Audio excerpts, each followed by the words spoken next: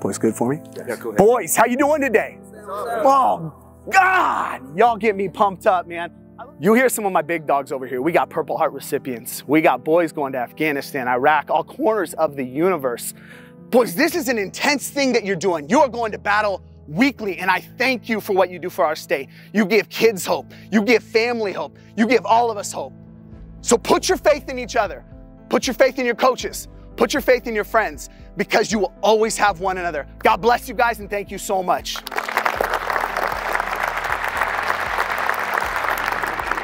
Keep doing great things for the state, boys. We appreciate you. Thank you so much. God bless, all right?